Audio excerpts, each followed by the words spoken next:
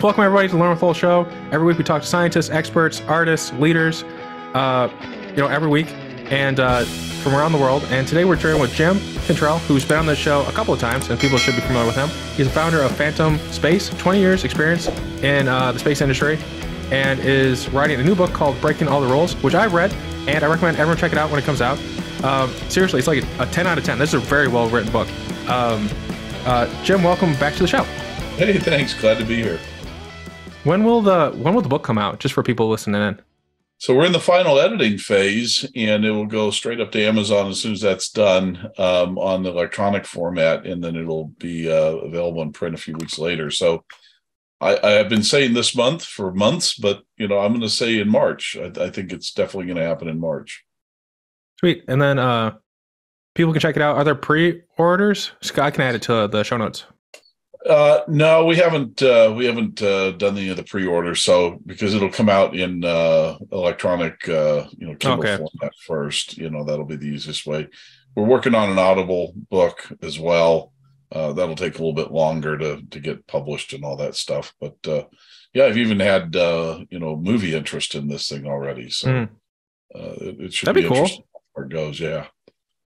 Uh, we were we were just talking off the air about the the Pez Pez the Outlaw, the Pez Outlaw, and then uh, the Pepsi owe me a, a, a, a, jet. I could see it like a little mini series like that, where it's like it's got like the fun to it, but also has like the serious tones too. I, I don't know who who makes those things, but they like I could see it as like a really cool mini series versus like a movie, because yeah. uh you can just get you can do a little bit more. I don't know if you're a fan of of uh, like the the Last of Us or any of the new uh, mini series that are coming out.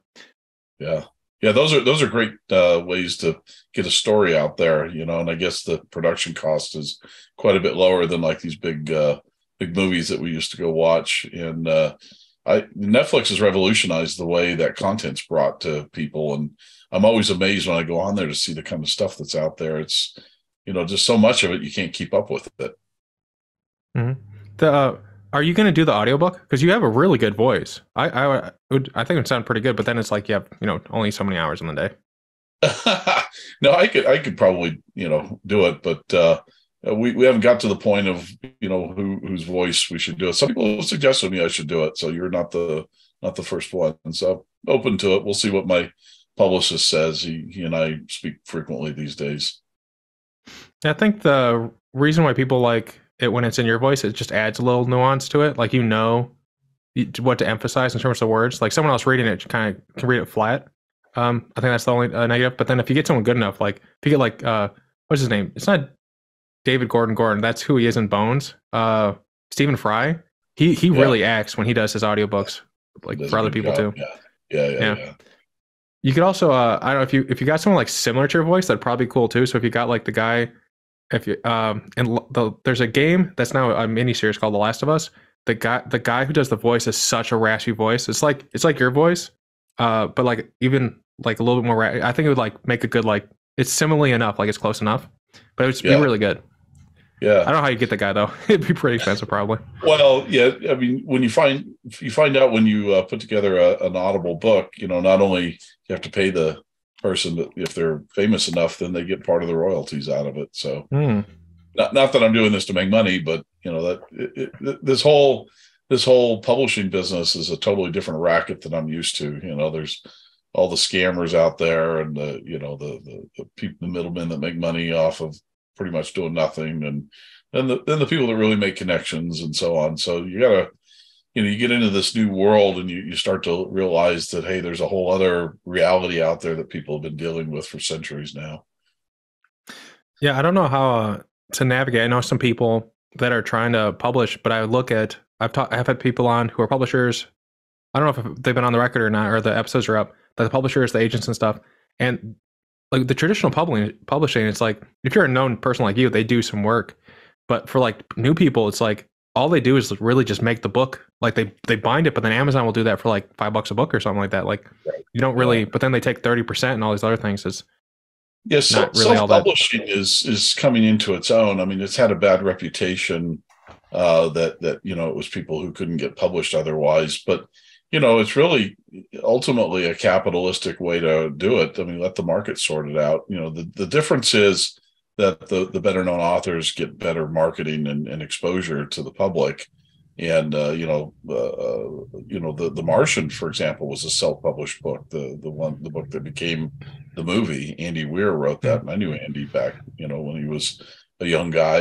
And uh, you know somebody found it and thought it was great and and then turned it into a, a script and a movie. And now no, nobody sees andy at the space conferences anymore.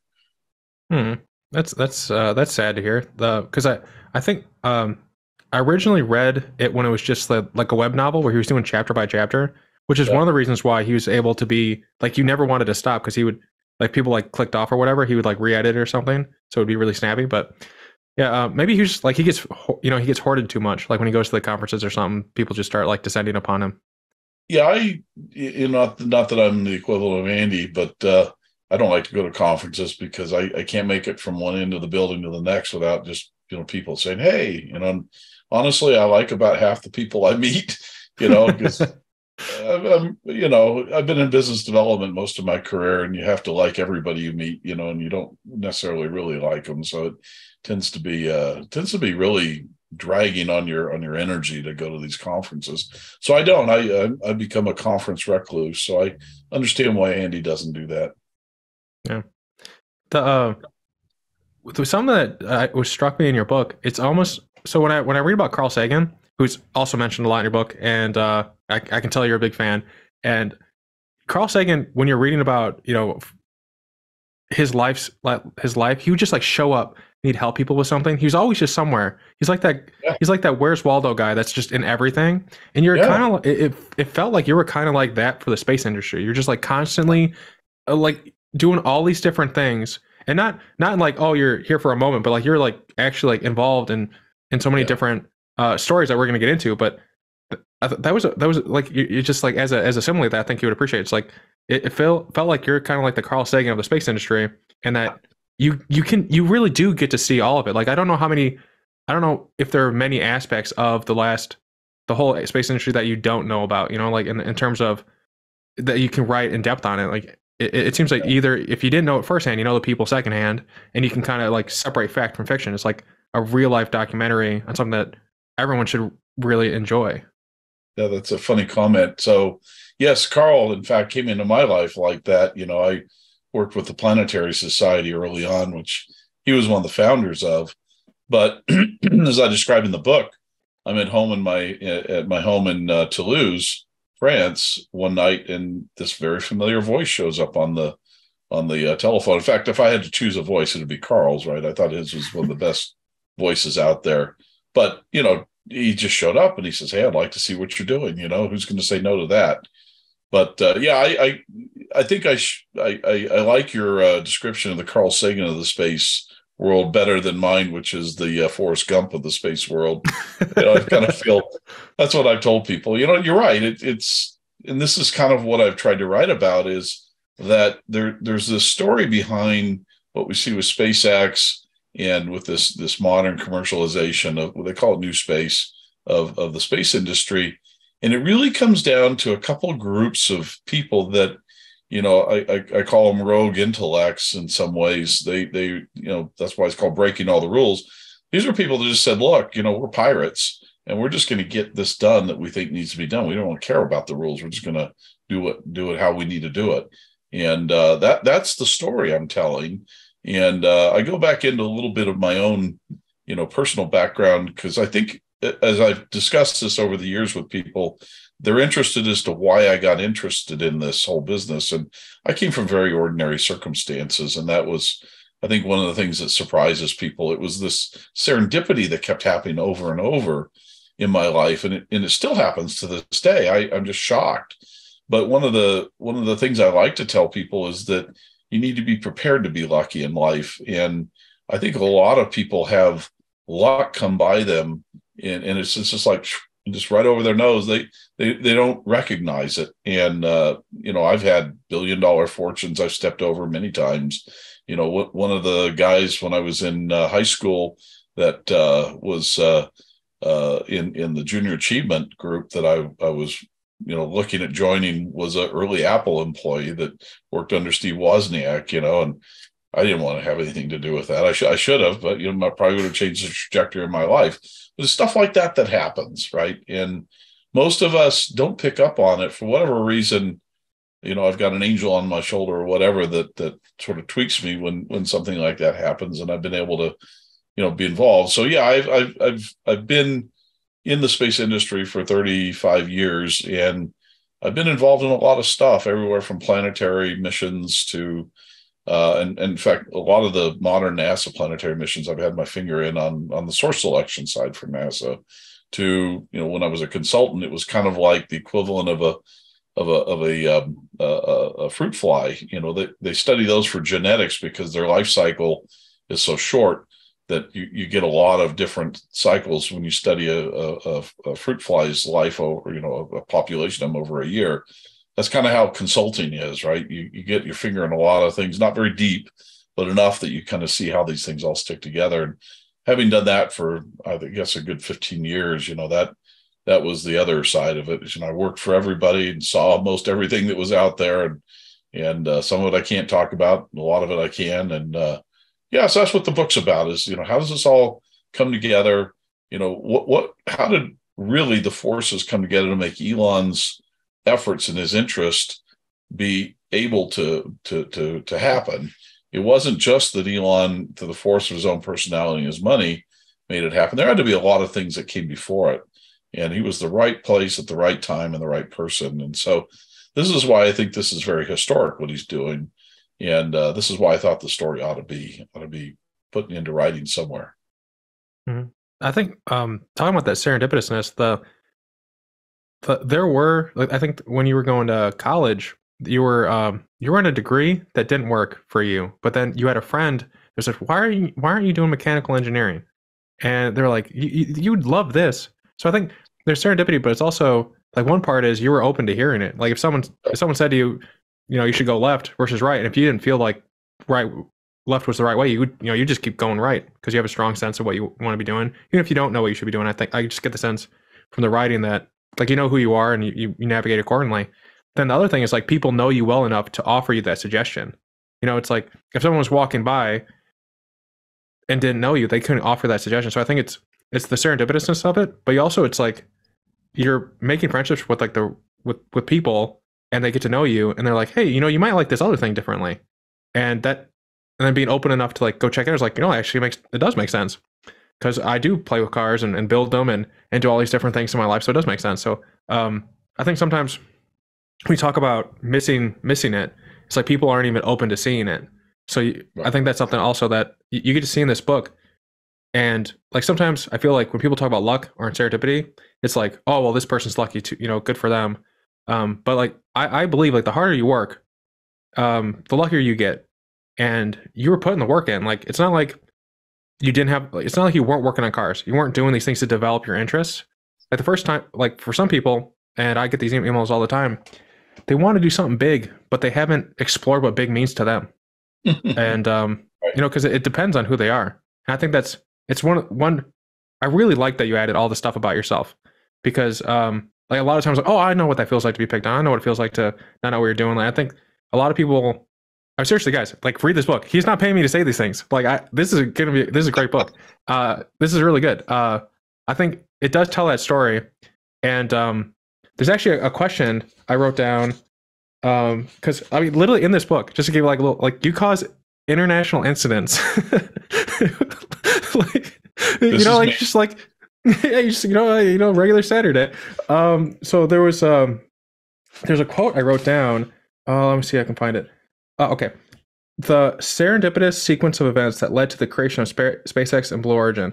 Like from the outside, it does seem like um, like lightning struck and outsprout outsprouted um, SpaceX and Blue Origin. But the the story that you're telling is like it, it took it was like a like a Miyazaki film, like the Seven Samurai, where like all these different people, with different uh, expertises, where they were the top one percent of top one percent of, of, of, their skills, all came together. Because right. Yeah, like there's a there's a book called Titan, uh, which is about um, Rockefeller, and he at a certain point started tried doing like this Elon Musk type stuff, where he would try and build sh- uh, hospitals or whatever, but then the people he would pick would just you know they were like uh, snake oil salesmen so there's like one thing that can be said for Elon, and is that he could tell like you know the gyms from the not you know the the, the bad people out there. But I, I'm curious, definitely dive in more to this idea that um, what what needed to come together just for SpaceX to exist, and then um, I don't know that much about Blue Origin other than um, Bezos had enough money and then put money into it. I have some friends that work there, and they said like the last couple years have not been the the nicest there. That's that's yeah. like my, the extent that I know about Blue Origin. Yeah, so so they they come from a common root, and uh, really the story of how that root came to be was a good part of the early early part of the book. And there had to be a lot of things that happened, right? And you know, there there were people who tried this before Elon. Andrew Beal was the most notable, but not the only one. But Andrew was a banker out of Texas, and he spent hundred million dollars trying to build the Beal rocket, and uh, he went bankrupt.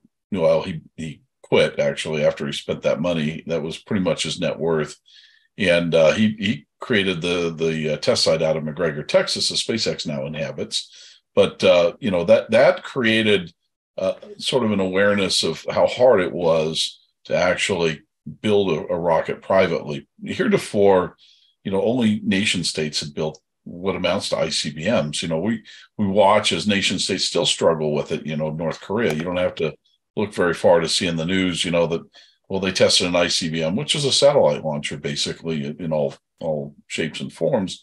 Uh, that it you know it, it fails, it falls into the sea, it does this, it does that. You know that all had to happen long before anybody like Elon Musk could come along and say, "Hey, we're gonna we're gonna improve on what's been done." And there had to be a lot of failures, and people had to learn from those failures, like with Beal, in order to advise Elon properly to to avoid certain landmines, right? And uh, the other thing, as you mentioned, was to get the right kind of people together. And and it, I'm going to tell you something that might be surprising to you because right now Elon's like one of the most popular people in the world, not necessarily loved, but the most popular, well-known people in the world. When I was first dealing with him, people in the aerospace industry considered him a charlatan, a liar, and a fake, a snake oil salesman, in short. And so part of my job with him was to lend my credibility because I had a lot of credibility with the people to those that say, look, this guy's real. He wants to do this. Because there were a lot of people that would say they would want to do it, waste your time and go away. So, you know, he he he was really not uh, equipped to do this on his own. It wasn't like he showed up and said, Hey, everybody follow me. We had to have a bunch of people who were true believers who had the talent to do it.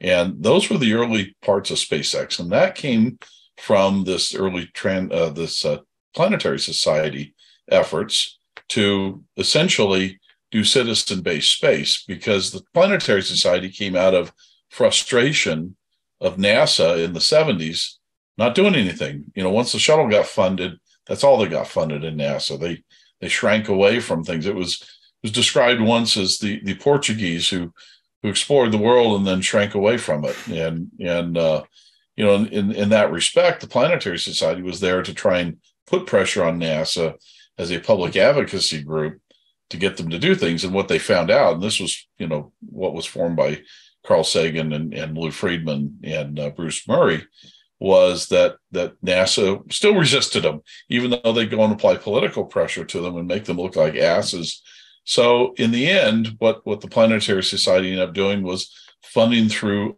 donations of its of its members my efforts in France to be part of a uh, Mars mission, albeit a Soviet mission to Mars with French uh, contributions, right? And I didn't ask, you know, whether whether I could do that permission in those days. I probably would have been told no. I just went and did it, uh, which got me into certain mountains of trouble. But this is the kind of thinking that went into the early days of SpaceX, people just said, well, we're pirates. You know, we're, we're mm-hmm. going to do what pirates do. We have a mission. By God, we're going to do it by ever, whatever means we have to. Those people had to exist for Elon to be successful. And that was the, the core of the people that, that survived through the early days of SpaceX. And then make no doubt about it, SpaceX would not be what it is today had the space shuttle not been retired, right? And Talk about serendipitous. If that shuttle hadn't been retired, SpaceX wouldn't have gotten the billions of dollars it got on the COTS program from NASA and, and had the money to develop the Falcon 9 and the and the Dragon capsule. So the, these these stories are intertwined, right? And and you can you can see how they, the history sort of bounces back and forth, oscillates, if you will, every decade or two. And uh, you know, SpaceX is now on on the top of it, and NASA's worried about them being a predatory, uh, uh, you know, single provider to them. And uh, you know, we're we're in a totally different world. That's all these other rocket companies are are uh, sprouting up, and that'll be one of my next books. I, I'm calling it the Rocket Wars, which I'm gonna I'm gonna pick up where this book leaves off and tell tell the story about all of these these rocket companies, and they're it's also very fascinating and interesting. Yeah. Um. It seems it seems a uh, it's not for lack of just like to comment on like the um the NASA single uh provider thing. Like other people have tried, they're just not delivering. it's like like I think uh like no one's really delivering. Like everyone's behind schedule, which because I think they were having Hard. even uh yeah they had well they had the the mentality. I see the two different mentalities. That one that was at SpaceX is that they would they would iterate and try, where like the other way was they they would like as far as I can tell they perfected on paper before they would build, and right. so they just it's this entirely different thing that you can try. But then at the same time, if it's like if it's NASA and you're just blowing stuff all up all the time, people are saying, "Oh, you're blowing up taxpayer money," so maybe that's the reason why they're against it. But that's I'm curious. Exactly um, I'm curious. The uh, so uh, uh, Blue Origin was before uh, Elon's company. Um, what made you choose? And I, if it was stated in the book, I, I, I don't remember it. But what made you choose Elon over uh, Bezos's company? Because like Elon didn't, he wasn't like a, you know, because you kind of like to in some in some ways like Elon Musk, you and like everyone come together made that successful. Where um if it was like you guys and then all the funding of Bezos, like maybe you could have made it successful as long as he he I don't know. Well, I'm just I'm, I'm doing counterfactual. I'm going to counter your assertion the Blue Origin hmm. rocket company existed before SpaceX because he, back then Jeff had what what I referred to as the Friday afternoon space club. And I guess oh. before I got involved with it, it was done on the weekends. And Jeff's, you know, he was the he's had an involvement in space since he was in college. He was uh, the president of the Students for Exploration and Development of Space, SEDS. So, I mean, this is nothing new for him, his interest. But as he got more successful with Amazon, he started to pay certain people uh, to advise him on what he might be able to do. So, you know, this was in the 2000, 2001 timeframe. And uh, so one of my colleagues, Tom Svitek, was one of the first people that started advising Jeff and uh, on this Friday afternoon Space Club format. And uh, you know, he would invite people in. I I I went up and briefed Jeff on how you go from here to Mars because part of my educational background is uh, astrodynamics. So he was interested in that. Um, what happened on the launch side was uh, my mentor Jim French uh, was was fired by SpaceX in the early days. He he, in fact, Elon made me fire him. He, he made a claim against him and said, "Hey, get rid of him." And so uh, Jim had worked on the Saturn V, and he was a legend. Still is a legend. He's still alive. He's still out there doing things. And uh, you know, Jim went to uh, Jeff, and that's where the uh, all the all the Blue Origin rocket stuff started. And and Jeff began to understand the same thing that Elon did, which was until you develop a transportation, all this other stuff is is really just uh, you know mental masturbation, if you want to use mm. the the phrase. And uh, so both both he and, and Elon were looking at the same sort of problem to solve. Jeff approached it in the way that he could, which was he has this gravy train called Amazon, and he has money that he can use from it, and so he hired what he thought were good, competent people and to go go, go do good, competent things. Unfortunately, I think this is my opinion that he hired too many NASA people who, exactly mm-hmm. as you uh, as you surmise, are get it right the first time and fly it.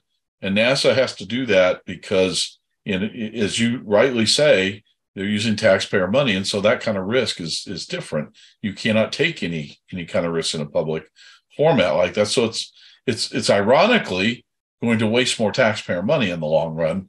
But the perception is that you know NASA's doing the right thing if you don't have failures. So Elon comes along and he has this software model of understanding, hey, fail fast and learn from your failures. and he personally is willing to tolerate those failures. He he told me in the beginning, I'll put a hundred million dollars on my own net worth into that, and that seems like a drop in the bucket today.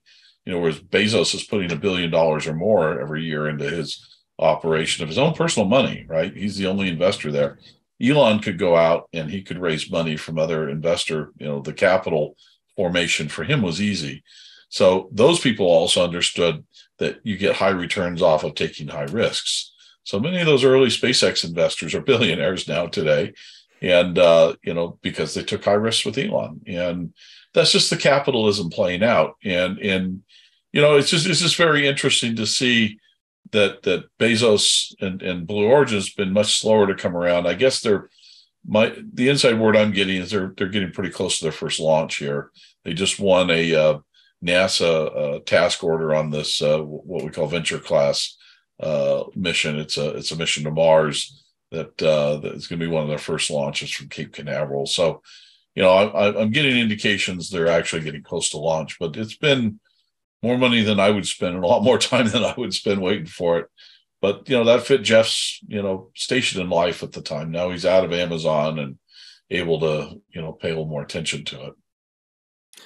Yeah, so it so it sounds like the early days, even though it existed, it was just more like a like a club. It wasn't actually like they were building it.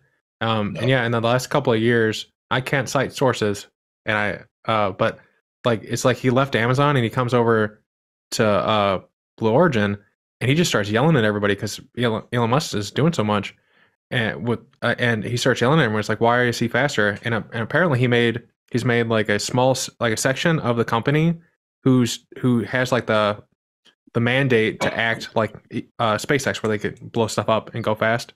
Um, uh, so they're they're like they're like trying to like infuse the culture slowly. I guess is what they're as he's like transitioned over. So like he was yelling at everybody apparently, um, which I guess if you spent like you know I don't know like five six billion dollars and everyone's beating you and you you can't even make engines for ULA or Vulcan or forget who it is, but he can't make engines. I think. So it, it seems like. Thing, yeah, sorry. One one of the things okay. that really uh, I think is the difference is accountability, right? So yeah. Blue Origin's only accountable to Jeff Bezos and not a, a bunch of other people. This is one thing I discovered when I sort of weaned myself off of government money and, and add on to commercial money is when you have investors that are chewing your ass and they're all over you, and if you don't hit a milestone, they're they're calling you at eleven o'clock on a Friday night, wondering why. You know that's a different kind of pressure than if you know you got one guy and he's like, well, he's busy. You know, he's he and his his family are taking the weekend mm-hmm. off, and it, it's a completely different uh, uh, motivation. So that he's come in and he's asking for this and this accountability is great, but we'll see how effective it is.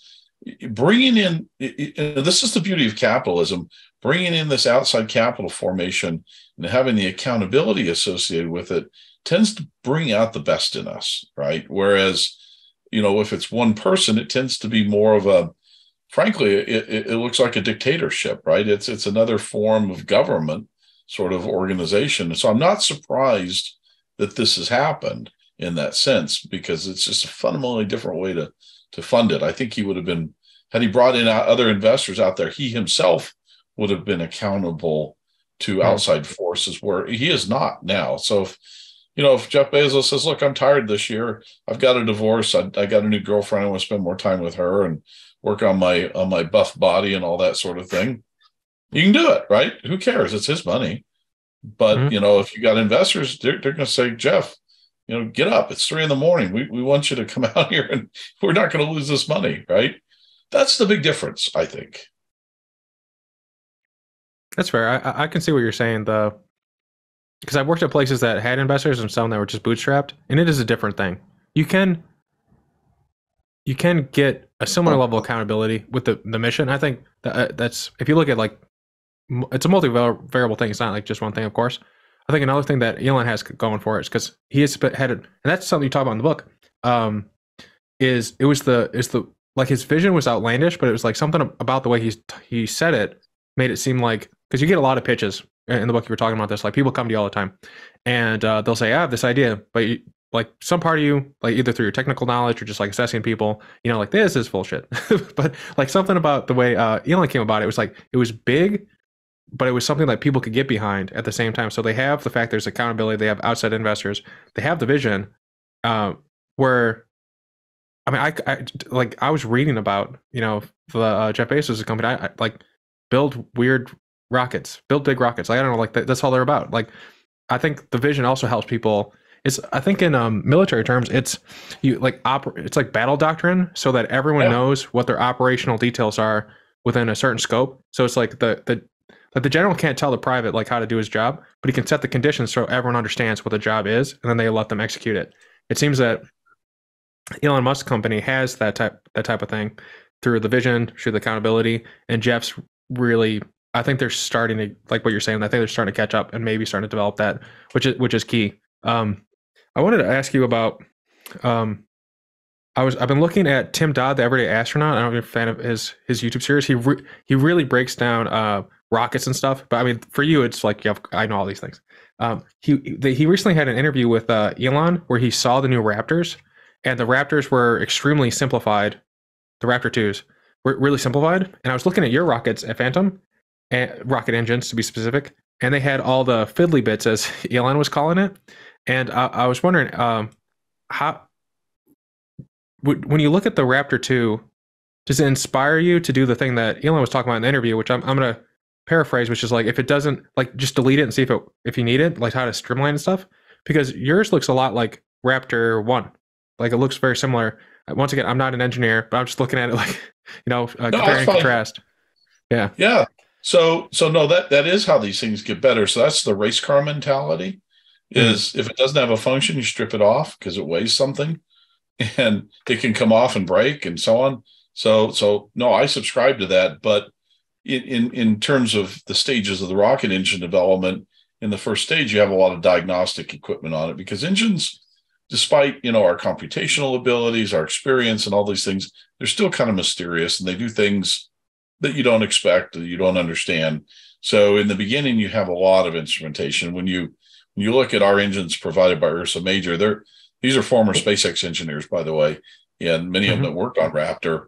And uh, you know, they they applied sort of the same philosophy SpaceX had on developing, which was develop and, and test a lot. And uh, for example, our engines have fifty thousand seconds of, I think they're up to sixty thousand now of of test time, right? Which is I think more than there was a thousand seconds on the F ones on the uh, on the on the uh, uh, moon rockets that went up. So so quite a lot, and uh, you know all those wires and things and tubing and all that all that's just test stuff. So as it becomes more operational, you'll mm-hmm. see these things clean up quite a bit. You see the same thing with um, you know automobile engines as well.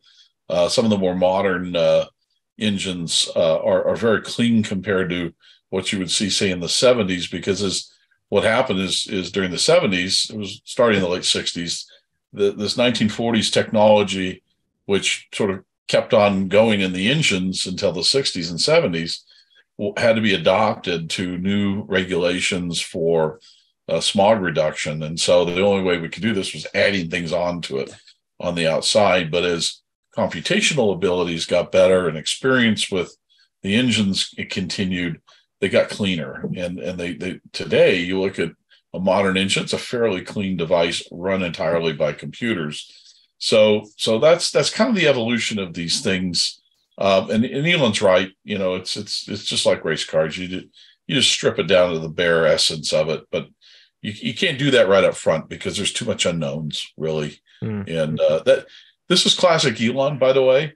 Uh, he he has he's always right. Okay, he always is. You know, I learned a long time ago if I ever argued with him, he was always right, but I was also right, but in a different context. And so, classic Elon is he sees the end point, and he wants today to be the end point, and he wants to skip as much over the intermediate points that you need to get there, right? And uh, Falcon One was an example. That was a that was an intermediate point how to build and launch rockets. It was a small one about size of our Daytona but it was, you know, nonetheless complex and you learned all the launch ops. So they could not have done the Falcon 9 the way they did it without having gone through the Falcon 1. So that's mm-hmm. that's the evolution of of engineering things. That makes sense. Then um, I, I would think just in and reading the book and getting to know you that you probably have a lot of fun working on the engine component, like the the rocket engine. If not just like the, I've been listening to the sounds. There's this new game ca- that came out called uh, Kerbal Space uh, Program Two, Oh. And they they had it they added all they had added all the sounds from actual rockets going off, and it's so enjoyable to listen to them. It's like I don't know if you have it uh, like if I if I were you, I'd have like my rocket as my like my uh, ringtone or something. But um, I I would guess that like the the most fun you'd have would be on the engine. Um, but that'd be just my guess. Is there like a component of that if you could get in the weeds and, and work on it? Because you're more um you're you're stuck more on like the business side of things, I think, nowadays. Oh yeah, You don't get to do Yeah, engineering. I, I, describe I describe your career in management with a with a rectangle, right? And it's got two lines through it, and you start at the top. The top triangle is is is uh, uh, uh, work, and then the side triangles are travel, and then the bottom triangle is eating. And as you go Hmm. down through it, you know you go from work to work travel, and then at one point in your career you're all travel, and then you start to just eat and travel, and then by the time you get to my part of the career, you're just eating, right? And so you're not Mhm. doing any engineering or any traveling anymore. You're just talking to people and selling an idea. So you're right. Um, and it turns out I'm good at raising money, so that's what I do. But you know, I for just fun on the weekends, like I've got a small block Chevy I'm building to put in a car. I'm doing it myself. I could pay somebody to do it, but I enjoy it, right?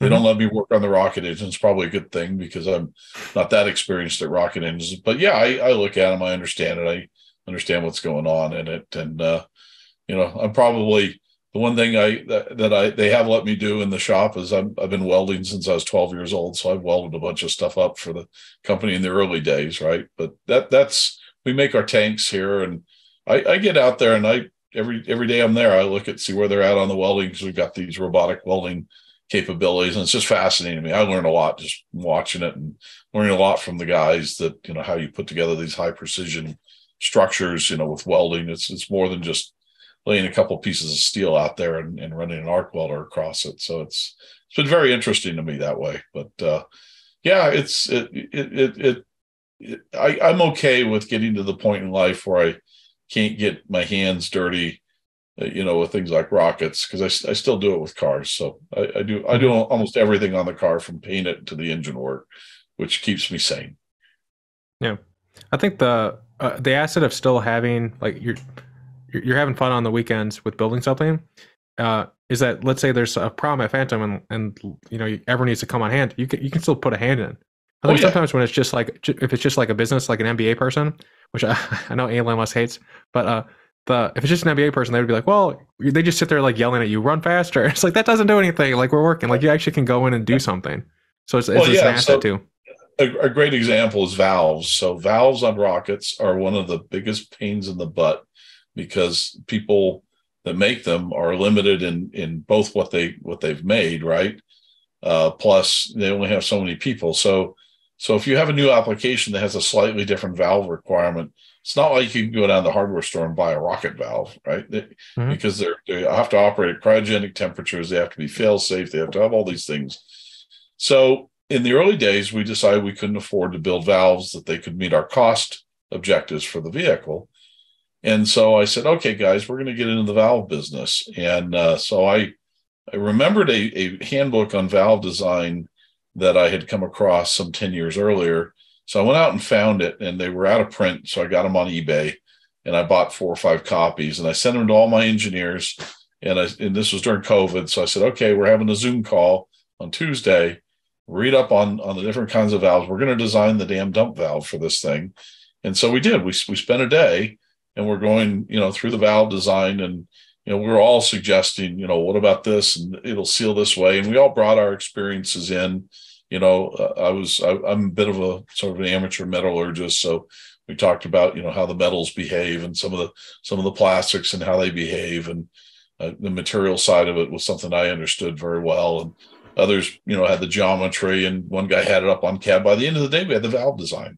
And it's the valve we use today for our uh, for our flight safety system. So even the faa has approved that valve. It hasn't changed a whole lot from our early design. So it's uh yeah that that see that that was fun right i can still get Mhm. involved at that level it, uh, do you have to? So you design it? Did you guys have to like 3D print or like test it to know it was good, or did you know enough on paper to know it was going to work?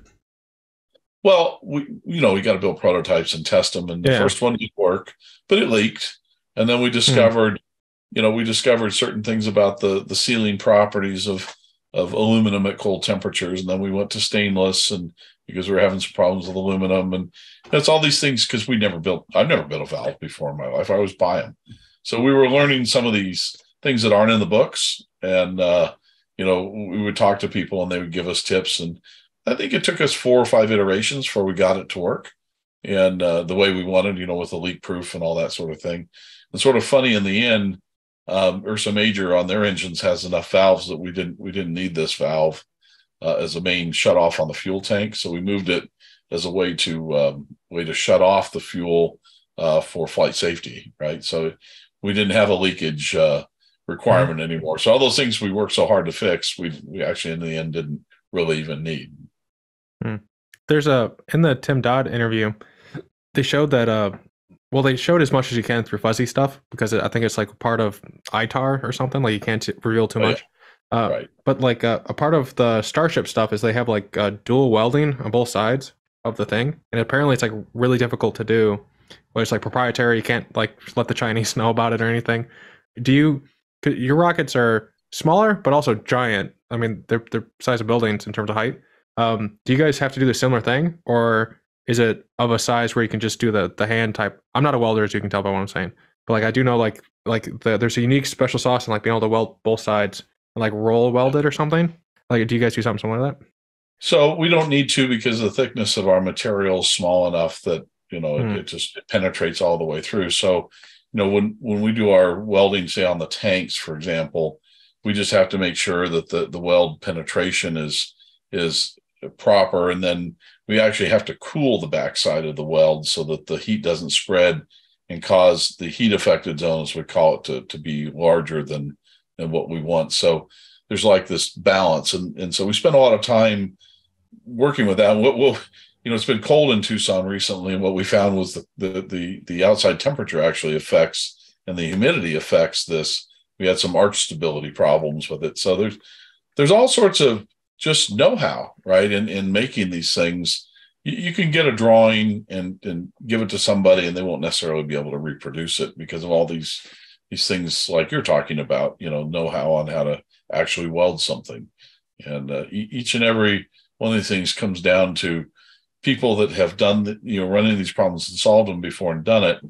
Uh, that that makes the difference. I when we get new engineers in um, sometimes they find me annoying because I, I take them out and introduce them into the, the technicians, right? So the technicians are the guys that have to build this thing. And I said, look, these guys are actually the designers of this rocket because they know how it's going to work and they will know what doesn't work. You're here to make sure that their ideas actually work, right? And to do the calculations to make sure that what they say is going to work will. Because ultimately, it comes down to people who've done it before.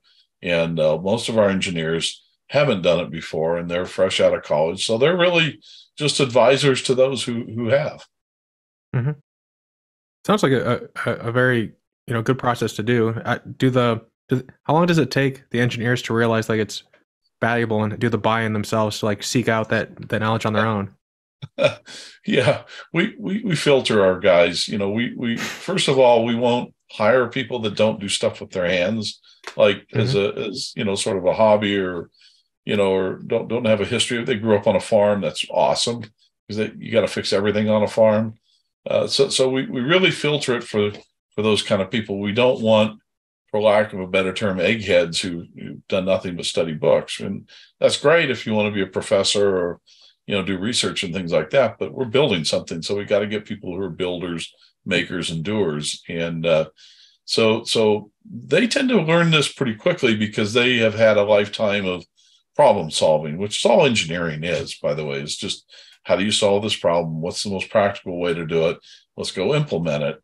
And so, so you know, we find they they learn pretty quick. Our, our young engineers, and what they like about this environment that you don't get at say Raytheon or NASA or one of these big companies is we put them out there. They get to touch the hardware. They get to actually, you know, use tools. And and I like to say you know, some people are a menace to society with a screwdriver in their hand. We're hoping they're not.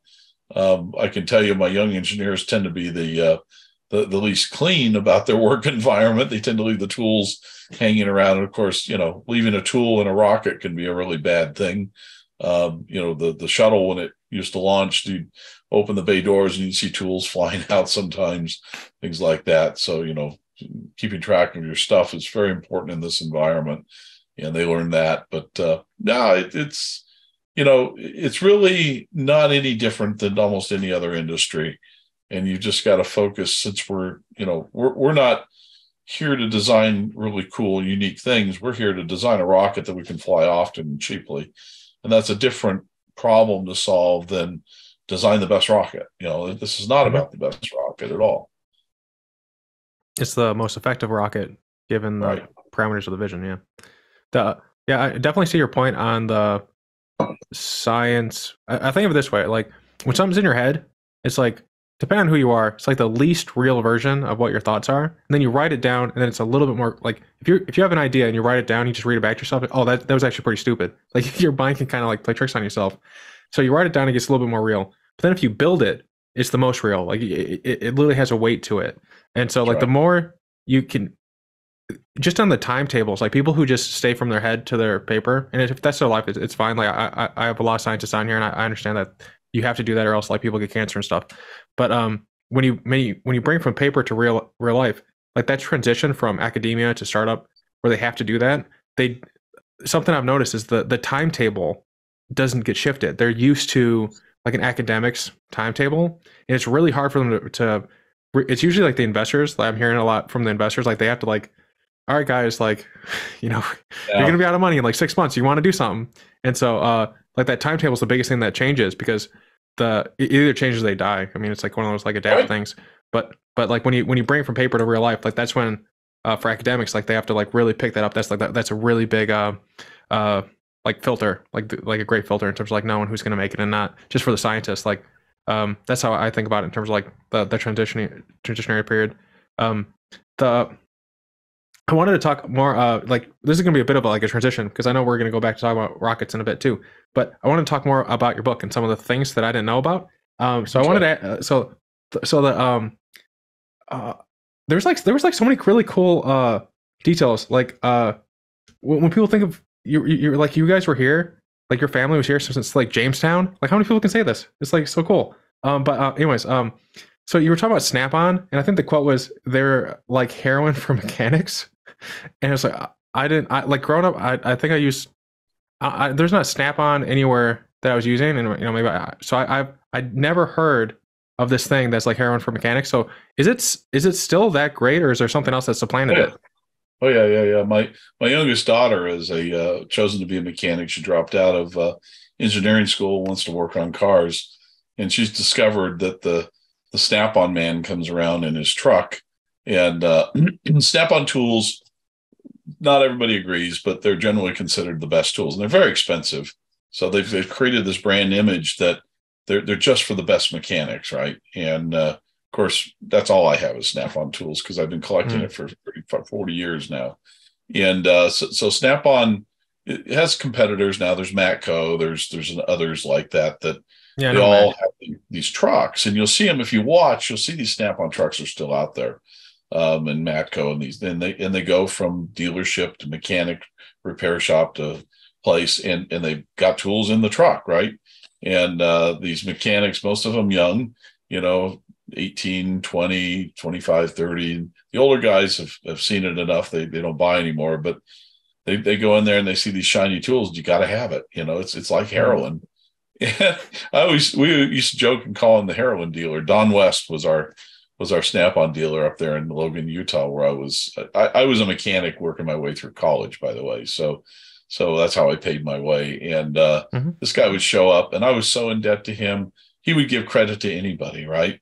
and he'd come collect, you know, out of your paycheck, you know, thirty dollars every week or whatever it was, you know, and you wouldn't tell your wife, your girlfriend, or your parents maybe that you you know some of your paychecks disappearing to these tools, and uh, yeah, it was uh, still the same. I mean, everybody everybody does this. I, I still go online and you know there, there's uh, there's there's a tool company that I that I like that has everything in in these little cutout foam pieces, and I'm still mm-hmm. salivating mm. over one complete set that's like twenty five thousand dollars. You know, so it tools are an addiction, and and it's a it's a funny thing. Yeah, there's a company that'll they have it's like a foam, it's like two inches thick, and there's layers to it, and so you put a tool on it, and you can cut into it and make custom for everything. And yep. I, am like, I really want to buy some, but I know if I do that, then I'm gonna start buying a lot more tools and stuff and start tinkering oh, yeah. things, which is what I want to do in the spring anyway. But um, it's like or- organizing things is is a lot of fun. Is there um, I don't know, Snap-on sounds expensive, but uh, but is there are there like entry level tools for people who are working at home? I know yeah, I didn't know about them. Is there Sears Craftsman was sort yeah, of the one? Yeah, yeah, I'm, I'm yeah, I know about yeah. yeah, they were always, you know, when Sears went out of business, they they licensed their craft craftsman tools out because that was probably the only good thing left out of Sears, mm. right? And uh, yeah, I mean, if you go to go to Lowe's, they've got their own brand that's that's pretty good, and yeah, there, there's it, it, used to be like in the 70s the the Chinese tools were just so crappy you couldn't even use them, but the Chinese stuff has gotten pretty good these days, and I think most of it's actually made in China. So uh, you know, some of some of the Germans make some of the better tools as well. Of course, they do and uh, you know some of it's still made in the U.S. like Snap-on. Is there a? I know the Germans have that branding for making quality engineering. If you look at it, uh, I'm trying to think of an American-made engine that I know about, um, and like compare the two. Like, is it really distinct when you look at the efficiency of like an American-made engine versus a German engine? When you look at it, like you you, you know what you were looking at. I I yeah. can like put things together if you told me like if, if I like have YouTube and stuff, like I did my brakes and stuff and like did like the brake line and whatnot. Um, but uh, which is really was really hard to do because it was like 105 degrees out and I was in the middle of a parking garage and I only had like two tools and like people kept coming. I was like, "Do you need help?" It's like, "No, it's all right." But anyways, um, is there when you look at it, is there really that big of a efficiency? I mean, or is it like something only the numbers, like math, like computers would know? No, there's a big difference between European sourced engines, Germans in particular. I mean, the Germans just have a way of doing things that's unusually good, right? When particularly when it comes to machinery. And but but if you look at the European environment versus the American environment, there, has been fundamentally different forces that, that cause them to evolve differently. And uh, the Europeans, for example, you know, fuel efficiency was much more important. And so you, you saw things like overhead camshafts instead of camshafts that are down in the engine block, and uh, you know things like that w- was showing up much much earlier than it did here in the U.S. By and mm-hmm. large, you know the U.S. was more concerned with inexpensive, reliable horsepower, right? Uh, gas efficiency be damned, because cost of fuel is quite different here. So you see yeah. the cars in Europe were originally much smaller, and the engines are more efficient, smaller displacement, and and therefore a little bit higher tech. We would consider, mm-hmm. you know, more complex some of the reliability was was not so good, particularly on say the Italians and the English stuff. Uh, but but the German stuff was always really reliable, good good stuff, but expensive, right? So that was mm-hmm. the other side of it. So now what you start to see because you, have got a lot of computer aided manufacturing that's come in, and and the ability to design these things with computer aided design tools has really leveled the playing field, and so you see a lot of US based engines. For example, the new Corvette engines, I think they call it the LT4, is a dual overhead cam uh, uh, engine with a flat crank, just like a Ferrari. It's it's it's every bit as good as a Ferrari engine. I know the Ferraristi are out there having a meltdown, but I, I own a couple Ferraris. I know what I'm talking about. These are good engines, right? So so you know it's becoming a lot more of a universal thing. I, I would say in the last you know five to ten years and I think going forward, we'll see, you know, the Americans have joined the rest of the world in terms of sophisticated uh, automobile engines, at least. Is there, um, just to circle back on the snap on, if, is there a tool? They're probably pretty expansive with it, but if you could have them make a tool specifically for something for you, for an issue you're having, is there like, is there something that you tell them to make, or they, do they make everything that you need? If you could say, uh, you could like uh, measure that CEO and say, "Hey, make this, make this thingamawidge that'll do this." Yeah, I mean, it, it, the luxury of having somebody make a tool is generally not out there. We we make a lot of our own tools, so sometimes mm. they're you hack up, you know, cheaper wrenches and things like that and weld them together, and that's very common, right? But you know, there, there's there's all sorts of tools, and I I probably spend you know half of my free time shopping for tools because I, I love tools. And I'm I'm always finding a tool that enables me to do something that I didn't know could be done. Right. So that hmm. that's my fascination with it. And particularly metalworking. I, I love to do metalworking, whether it's sheet metal or you know steel or aluminum and, and, and machining and things like that. So that tends to be where my mind goes. But you know, as far as like in wrenches and things like that, there that one you can pretty much buy whatever whatever can be made has been made there. But you know, the, the world of metalworking and and specialized things like that, there's always something new out there. Yeah, I, um, when you're when you're, I'm gonna have to like go to a a because I'm only I only know like the Sears uh and Mac, so I'm definitely to like go check out Snap on. But at the same time, it's like, do I want the heroin? You know, it's like uh, uh it's apparently very addictive, just the, the actual heroin, and so it's like, you know what, uh, do I want to go down that line? But um, when when you talk about like people in the trucks going around, so I, I grew up in the country, and uh, growing up, I would see cartoons of ice cream trucks and stuff, and so I always thought it was made up, like when people drive like and do sales in that way or do ice cream in that way. But then I went like I, I started hanging out in town. It's like, oh, you guys can have an ice cream truck. Like what? I've been so deprived out here. like there's nothing out here anymore. Right. Um, right. But uh, but I wanted to. Uh, also, your garage kind of sounds like a um, what's his name? Iron Man's. Like uh, like you have all these oh. cars. You're working on all these different things. It kind of has like when in episode the first one when he has like the rows of cars. You just need like the Iron Man suit, and you kind of like complete it. But it if you talk about music in the book quite often, uh, like how important it is. Just, and I think we were talking off the off the record about uh, how we jam out when we're working. But if this book could have a soundtrack, I don't know if you were writing with a soundtrack or if you you could suggest a soundtrack for it. What would be the soundtrack for this book? Oh boy, it'd be eclectic, right? It would be everything yeah. from from heavy metal. I'm a big heavy metal mm. fan, and you know, particularly when you get into the racing chapters. When I drive, when I drive these race cars, I drive. You know, sometimes I'll play like like uh, I don't know. There's this Mexican metal band called Brujeria, and you play that, and I'm like, this is what it feels like to drive the GT1 race cars, right?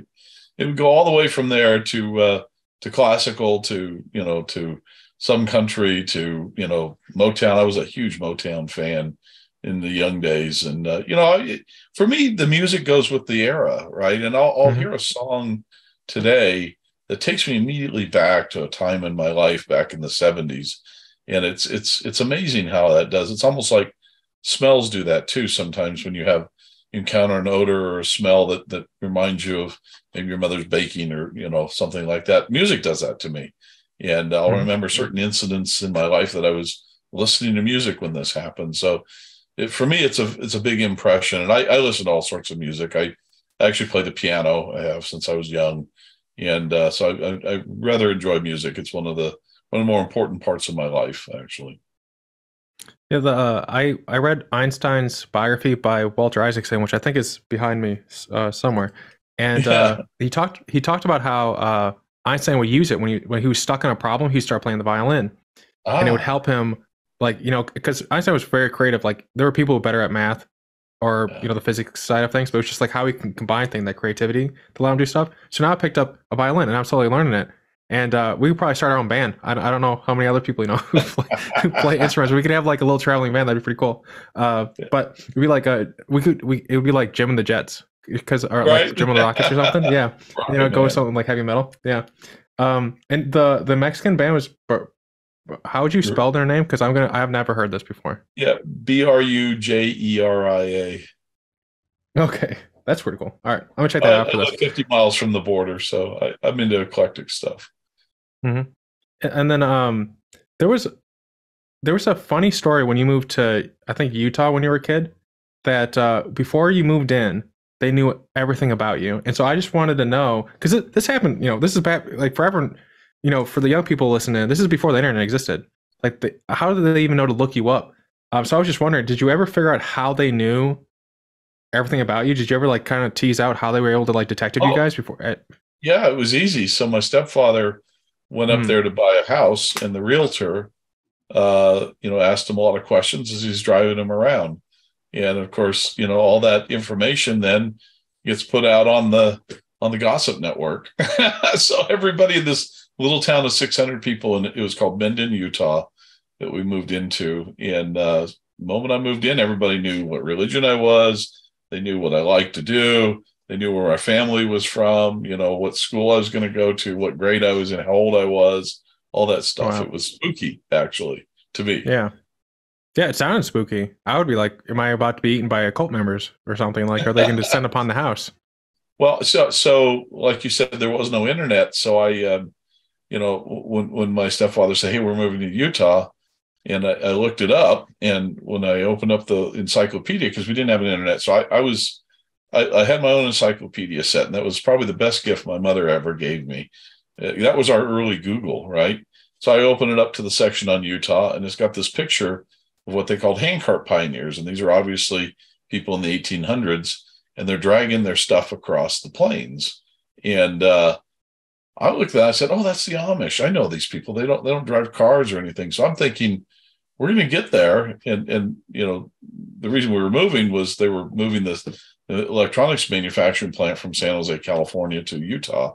I thought, I don't know how they're going to drive their buggies to work. You know, so that's what I had in mind when I got there. There was like roads and churches and cars and like, okay, this is this is normal. So so I, I got them all wrong. mm-hmm.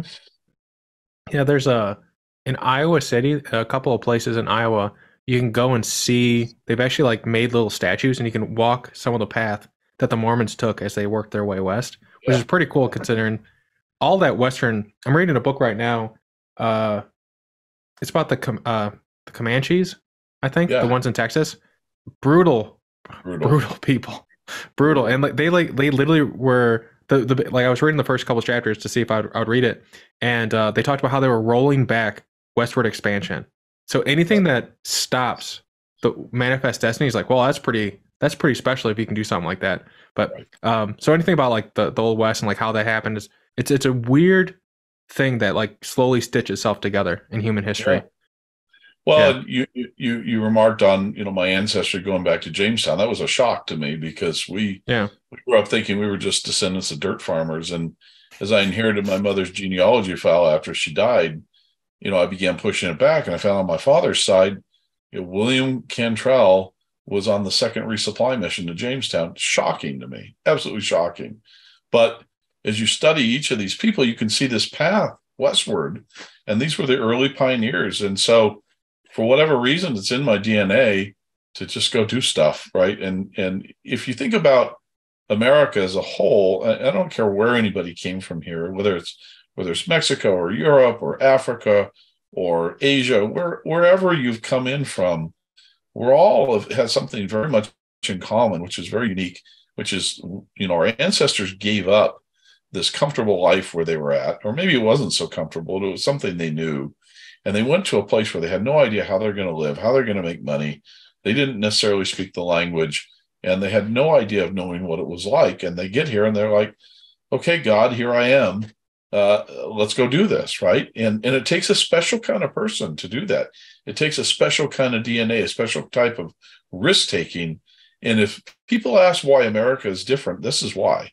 It's because we have genetically self-selected to risk takers coming here and th- this is why i'm very pro immigration right i'm not a political person but i live 50 mm-hmm. miles from the border and we get lots of mexican immigrants i wish they'd come here illegally right? I wish the system didn't forbid them to come, but we need this immigration. We need these people. We want these people, right? This is this is the lifeblood of this country. People don't really realize it. And uh, I tell you, the closer you live to the border, the more you realize how hungry these people are and how grateful they are to come to a great place where there's so much opportunity. And so that's that's my really big sort of lesson from this westward expansion thing is that this is in our, you know, it, it wasn't just somebody said manifest destiny, let's go get California. I mean, this is in our DNA. There's no stopping us, right? And to mm-hmm. go to mm-hmm. Mars, this was an extension of that, right? It, it's yeah. it's it's not any different. We're going to go. Yeah, I think the sometimes people do that what aboutism what what aboutism thing where it's like, why should we do spend any money on that if we have like broken roads and stuff? It's like the innovation. just if you look at it strictly from innovation, the innovation that we're going to learn and be applied on Earth is going to be more than worth it. And then you have that itch. You have the people that, like how Carl Sagan talks about. What you you quote in this book too, and Carl Sagan says it in Cosmos that there's these there's people that just need that have that itch. They just want to explore. And it's right. it's kind of a sad part about the world now where it's like there's not that much left to explore. You can explore it personally for yourself, but there's a lot that's just like already mapped in. It's kind of sad. Like I think that's I want to like visit Alaska because there's like not that much known, or like Am- the Amazons, uh, the Amazon because like there's there's like so much there that you just don't know. So that's kind of fun. But you get the you get the benefit of like you get to explore the stars with with your technology and stuff. So your brain naturally gets to get to go there. Yeah, yeah. I mean every every time the rover goes around the corner and photographs a new vista, that's amazing. You know, when when I was working on the Mars balloon back in the in the 90s, you know, we, we had cameras that were going to go on that. And I, I spent so much time imagining what it would look like, right? What this thing would look like floating along the surface. And because I was part of the team that designed the part of the, the, the payload that dragged along the ground, I had to think about what the ground would look like, right? And so I spent a lot of time looking at images, and all we had was Viking images at the time of the surface of Mars, trying to imagine what these places were like. So, so the human imagination transports us there. But now we're so lucky today to be able to see this, to see these rover images. I I, I look at them today, and I, I'm just I can spend an hour just looking at them because I I remember the days when we couldn't. You know, it was like the mm-hmm. the you know the, not having the internet and, and having to look at encyclopedias. Yeah, I'm I'm really excited to see what the James Webb Webb comes out with. Just uh, so far, it's been really cool. The images, and then um, recently there was I think there was a rover that shut down finally. It was like way overdue. Yeah. And they made like this post where it said thank you for the journey. Uh, yeah. and I was I almost like cried for the little rover. I was like, oh man, yeah. he's all alone out there. Uh, it was like like there. This it's kind of a weird thing we anthropomorphize things, but it's kind of fun too. I let me tell you what. So we, those of us who build race cars, race race cars, and are around race cars, we believe that you know there's a part of your soul that somehow ends up in these machines. I can't explain it rationally physically but these machines all have personality. They really truly do. And they're they're okay they're maybe not living things but they sure as hell feel like it sometimes right? And i have race cars that i'll say ah that one's got an evil spirit we're going to sell that one and i have some it's like an old friend i get into it and i feel like the arms are wrapped around me you know and some i'll get in and I literally feel a physical meld with the with the vehicle when I'm on the track. It's it's it's a metaphysical thing that I can't quite explain to anybody that hasn't experienced it. And the fact that this this rover has a real personality, I'm sure if I talk to the guys who who lived with it day in and day out, you know, doing the the the, the path planning and the controlling and all that, I'm sure that they uh, I'm sure they would say the same thing that this definitely had its own quirks and personalities and hell the, the Iridium satellite network we we put up you know I was involved in that and there were a hundred and some odd satellites each one of them had a different personality each and every one mm. of hmm. those satellites it, it's it's an amazing fact and and if you think about what what really happens with our um our, you know our creations it's our own energy that goes into that. And you know, I don't want to get metaphysical or, re- or, religious here, but you know, where does that energy come from? Where does it go? And and does it does it really imprint on the machine? That's an interesting interesting thing to think about. Mm-hmm. Yeah, if if the choice, if if we could have a choice, and I would want the energy to imprint, like if it was up to us, because then it adds something special. Like yeah. versus like, I mean, this is like if I could control reality, which I cannot um, then it's up to people's interpretation. But when when you get into the different cars, is it is it um is the personality geared to you, or like if you had a kid get in, or uh, some, one of your friends get in, would they feel the similar feeling? I mean, I guess assuming they were racers too, would they feel a similar feeling, or does it is it key to you you specifically? It's, that's a great question, actually. So sometimes, you know, I, I let a lot of people drive my cars and vice versa, and we often will do team driving there are some cars that hate certain drivers, right? And they will always break for that driver.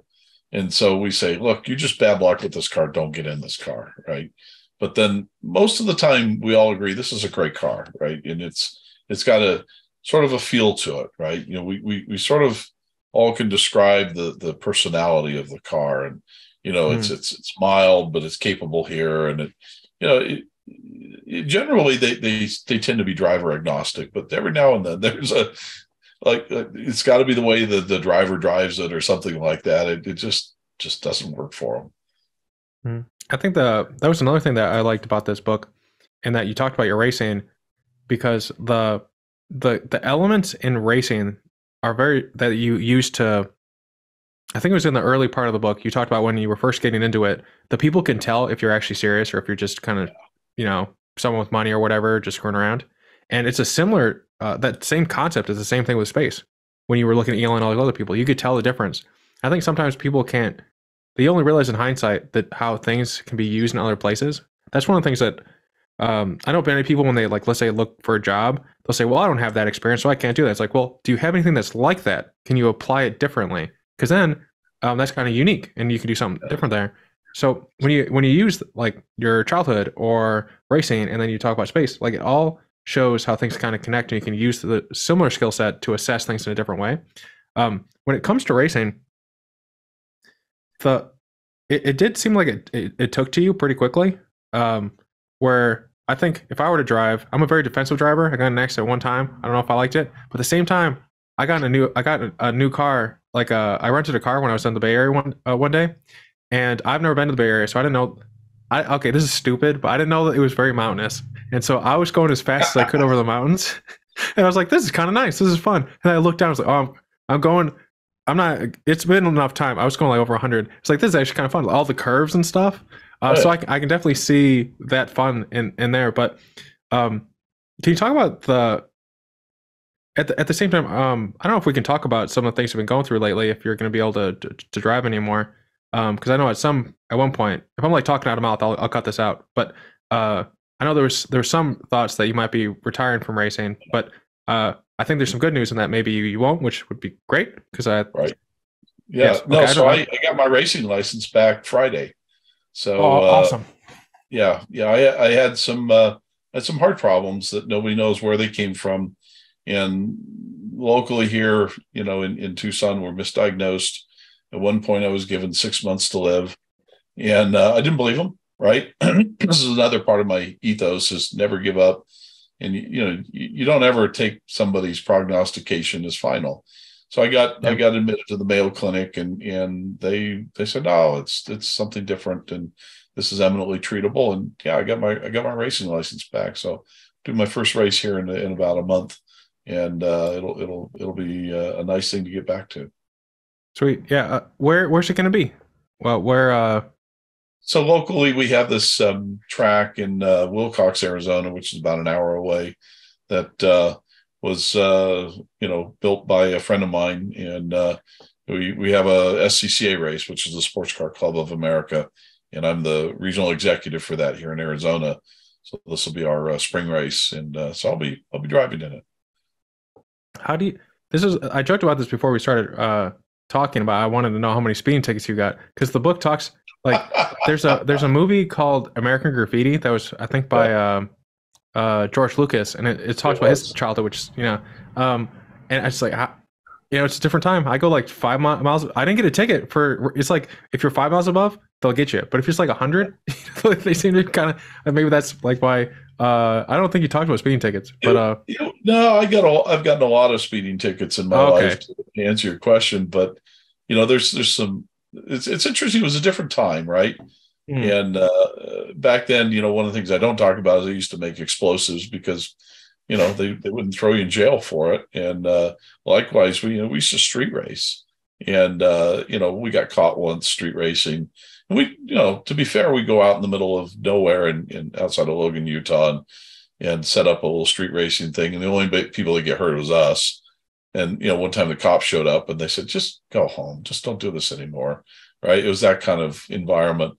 But uh, you know, it, it, things have become the society's become less tolerant of the risk that's posed by it, partially because the population density's gotten bigger, partially because the cars have gotten a lot faster. They, they you can now go down and buy a car that we used to struggle to build as a race car, like uh, you know these these these uh, Dodge Challengers with the, the the Hemi that's 800 horsepower. I mean, they'll do nine second quarter miles, and we had struggled to build those. You know, now you can just pay hundred thousand dollars and buy one. But you know, to, back to your question, yeah, I've been pulled over a lot. Uh, a few of them I've gotten out of. I was when I was uh, 17 years old. I was I was arrested in the high school parking lot for having gone 85 in a 25 zone on the way to school, and then then exhibition of speed, which meant I was doing uh, I was doing uh, uh, burnouts in the parking lot with a cop following me, and I didn't know he's behind me.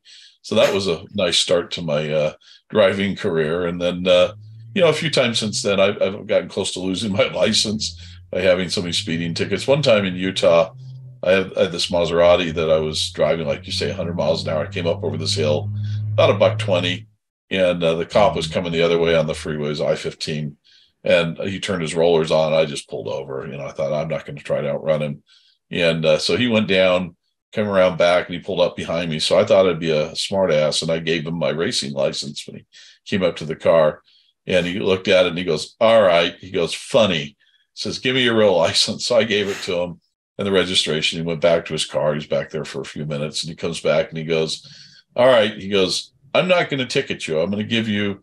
A warning. He said, because clearly you know how to drive fast. Clearly this car can do this. And clearly this road's good enough for it. But the other people aren't. And he's and then he said, he says, and don't ever do this on my road again. And I said, okay, yes, mm-hmm. sir. Thank you. And, and then he says, now off the record, he says, can I see your engine? so we went around and opened up the hood and he's like, unofficially, how fast have you had this car up to? You know, so he, he was he was a big fan. So so some of that sometimes happens, right? These guys are car guys and they understand. But yeah, I since I've been racing, I, I kind of drive like grandma now on the on the uh, roads, and so, some of the drivers get annoyed by me. I, I drive so slow. Like today when I was out doing some stuff, uh, you know, this one driver was honking behind me, and I thought it was a lady, and I thought, I wonder if she knows I'm a race car driver. she was clearly annoyed I was driving too slow. Yeah. So you get it. It's like you get it out of your system, so then you can you know take your time when you're on the road. Well, it's it's you know I tell my kids this. I taught my kids all to race, and and uh, some some have stuck with it, some of them haven't. I got two that are racers. I say, look, don't do this shit on the street because you get killed, and uh, mm-hmm. or you'll get arrested, and things are bad. Just just go do it on the track, and it, it's it's you know, you're wearing proper safety equipment uh, I have I had a car that I actually sold. It was so fast. It was an AMG GT, and it was so fast on the track. And I would don't go out just driving with a helmet, you know, that I realized that that I was in pretty much mortal danger because the safety equipment wasn't adequate in a street car. Like we're we're strapped in in a race car, and I've got a roll cage around me. I've got a helmet on. I've got a head and neck device that keeps my head from moving around in case I get in a bad accident. Got a fire system that you know, if it catches on fire, I pull it and it fills up with foam or or halon and so forth. So you don't have that in a street car. So so you know, it just suddenly I realized how vulnerable I was. so I sold the car. It's, it's just too fast for the street, right? So so that that's kind of the the ethos I have now is you know let's let's keep it on the track where it's reasonably safe and we don't lose that many people every year to racing. We, we really don't. I've seen some pretty horrific wrecks. We we did a hill climb a couple of years ago. One of my friends, she drove off the edge and went down probably 500 feet down the cliff, and rolled the car repeatedly. I'd built the cage for it, so I was happy it had survived. Right, my welding was good enough and all that. So uh, you know, but you, you, see that over and over. People survive these tremendously uh, horrific uh, car crashes they wouldn't in a in a street car. Yeah. The uh, is there is there a car or a type of car, like if you get like the chassis and build it out that you're looking for? Or that is there are there some that like no matter what, if you saw it, you would like, I'm gonna get that home so I can work on it. So like just in terms of like rebuilding it, is there like so there's like two questions. Is there a white whale out there that you've been hunting? And then or is there just like something that you you would always want to grab and work on? cars, the race cars for me have been more uh, like stray cats that show up on my doorstep, mm-hmm. and uh, the, the, the owners typically beg me to borrow buy them. Uh, I, particularly the Corvettes for some reason. I'm known as a Corvette racer, and I've had two Corvettes that have shown up where the, the owners found me. And They said, "You need to buy this race car." And I'm like, "I need another car like a hole in the head." And then before long, I get talked into it because the price comes down and the you know it starts to look attractive. And then like one of them, I call it Trash Wagon. I you know the Trash Wagon. I have done several championship drives and have done very well. We got six nationally and GT1 in it, you know, but it's a it's a crappy old 30 year old car. It has no business being out there with these million dollar Trans Am cars I was competing against, you know, but but it was a stray stray cat, you know. Mm. So, so yeah, I mean, I, I don't really pine for anything. I am building my own of my own design right now. Like it's a prototype car, like they race in Le Mans, and uh, so I'm, I'm I'm in the middle of sort of the de- design phase of that. Although the frame's probably going to get started here pretty soon. But uh, that that one, I just always want to build my own car from the ground up. That'll be my first. Is there is there like a look that you uh I don't know if you can tell us anything about it if it's like secret, but is there like no. a is there like a look that you're designing it off of?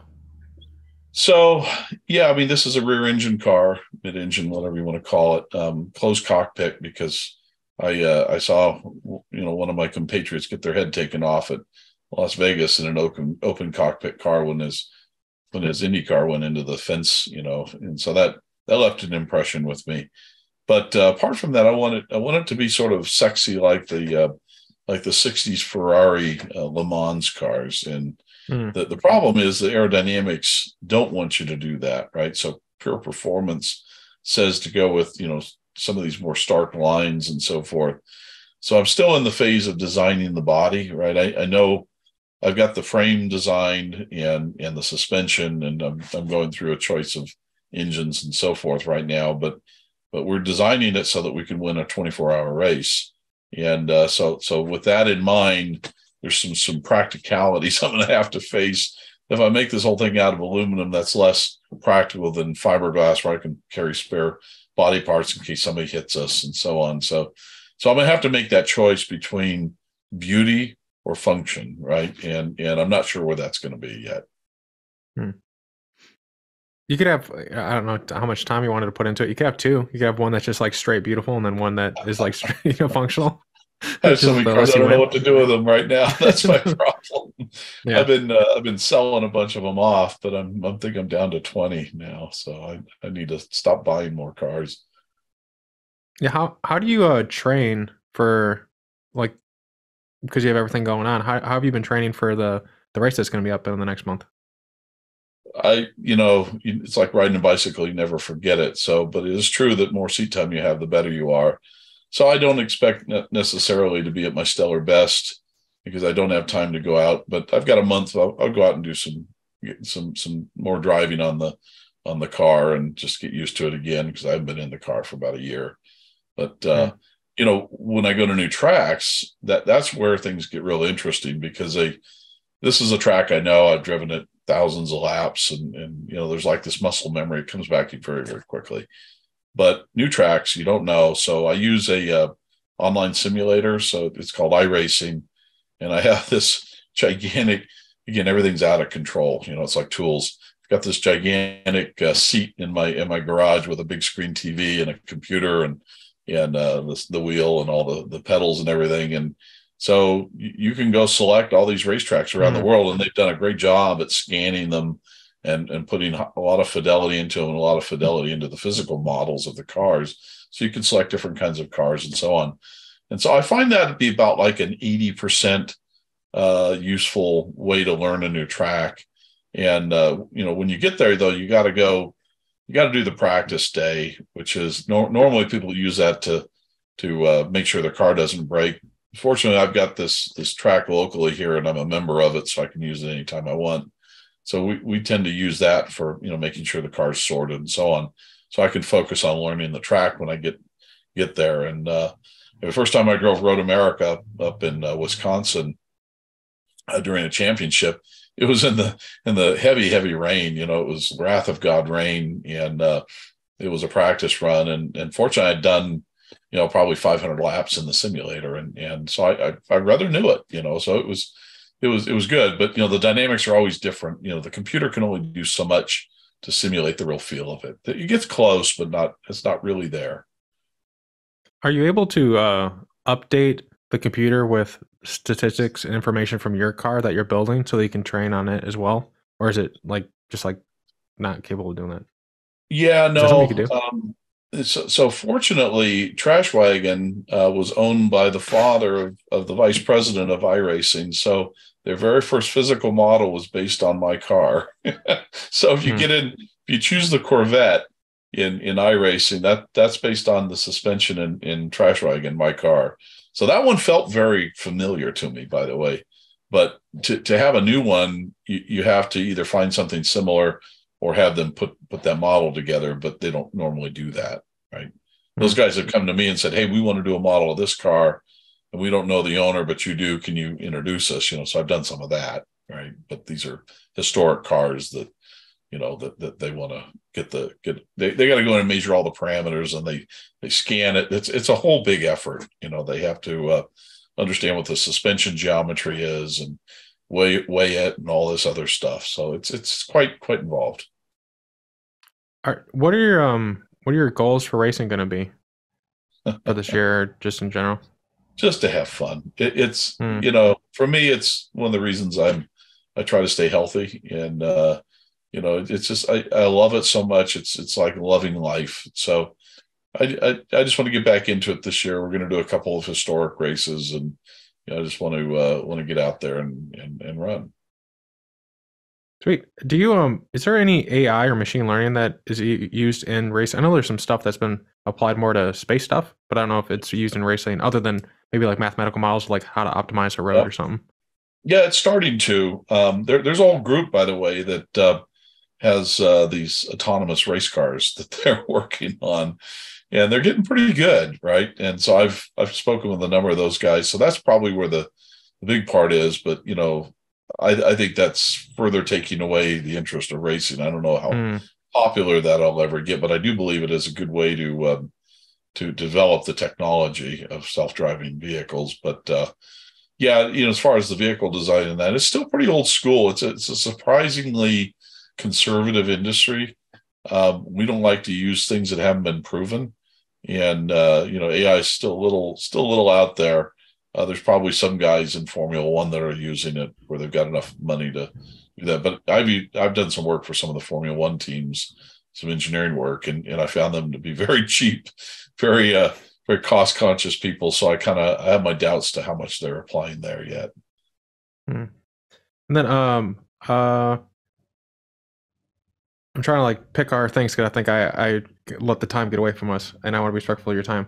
The um, what uh, what other than the book that you're writing now, is there any books that you recommend? I see some behind you that people read. Well, I, I like to read about uh, weapons programs, so that's not necessarily something I recommend. I, I, I love I love reading history, but there's a couple of books that I'll, I'll recommend in general. One of them will be surprising. It's called Illusions by Richard Bach and uh, he wrote Jonathan Livingston Seagull back in the 70s. Illusions was the story of a uh, reluctant messiah, Uh, this guy named Don Shimoda, who was strangely a mechanic and he had these messianic powers and he could fix anything, including people's lives. And pretty soon people flocked to his garage and he couldn't get anything done. And so he said, I quit. He said, I'm, no longer the messiah. They said, You can't quit. He said, Watch me. So he got in his plane, he flew off. And it's a story of how he meets this other this other guy and they're they're barnstorming in the 20s and 30s from field to field and giving rides to the farmers and the locals in, in the in the summer and and uh, it's it's it's a it's a philosophical book about you know how to live life and and how to deal with life's problems and challenges and so forth. This is a great book. I I have to go back and read it every now and then. Then the next one is The Art of Racing in the Rain um, which is Garth Stein, and you'll find I use that qu- quotes from him a lot. Uh, he's a racer, and he wrote this story, however, about uh, this racer named Denny who who has a, uh, a, a custody battle over his daughter after his wife dies, and it's it's a very heartwarming story, and it's told by a dog. So it's uh, and, and again, you'll, you'll, I don't want to ruin the story, but the dog has a special place in the in the end of the story. But uh, yeah, it's a, gr- great book. Hmm. I'm gonna. I'll check out both. Uh, um, as you can tell, I, I, like to read, and this shelf over here is yeah. very empty, so I need to fill it up. okay, you got um, room. is there a? Uh, the you, you, I think you have a website, but is there a good way to stay up to date with what you're working on? Is there? There's not like one spot that people can generally just be like, hey, you know, Jim's doing this, this, and this. Well, jimcantrell.com, you know, I do keep a blog there, and I'm not as often as I want to, but best place to keep track of me is actually Twitter and it's uh, hmm. James mm. N. Cantrell. It's my Twitter handle, and I'm verified. Yeah, it's just the you're you're supporting Elon Musk. Hey, I think what he's doing with Twitter is great. I, I, I think yeah. what they were doing was wrong. I actually knew most of the people that got fired, uh, most of the Twitter executives. Yeah, so what they were doing was wrong. Yeah, it's uh the the leader people, the CEO, the the former Back. CEO. They got they did oh, yeah. they didn't they were like obnoxious little shits, and then they got like a like forty million dollar payday, and it's like they did man, fine. I don't know, fail failure failure way to the top. I guess I don't know. Yeah, so, I thought what I was reading, they they it, once again, this is just what I read on um stuff, but I was reading that they were um they they were like obfuscating when they were working with with Elon on the takeover, and then um they were like making it so that they seemed bigger than they were. I don't know to the extent that that's real or not. Well, they so I won't use names, but uh, many of them, whom I knew personally because they'd invested in one of my prior companies, um, th- they had a secret relationship with the government in the United States mm-hmm. to provide data. And if you think about it, it really comes down to this: so the, the, the U.S. government, with all its ability to spy on any individual in the world, is forbidden by law to spy on American citizens unless they're working with a foreigner that's under surveillance, right? But what that's the Fourth Amendment of the Constitution against unreasonable search and seizure that prevents them from doing that. But if you sign a, an agreement, a user agreement with Twitter or Facebook or any of these social media joints that says, "Oh yeah, uh, you're free to share my data with third parties," it doesn't say except the NSA, except the DoD, except mm. the CIA. It doesn't, doesn't say any of that.